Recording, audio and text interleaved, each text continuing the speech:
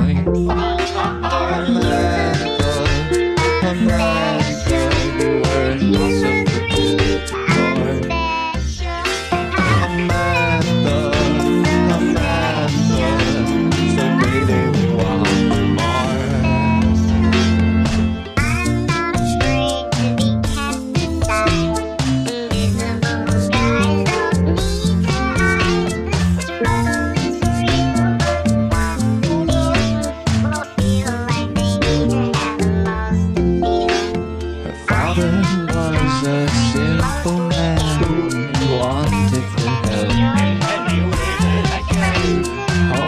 from school. He watched his daughter cry.